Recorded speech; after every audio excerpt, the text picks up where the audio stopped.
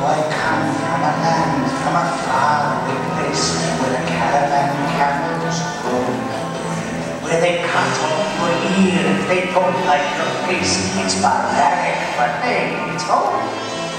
When the winds from the east and the suns from the west and the sand and the blast is come calm down upon my heart.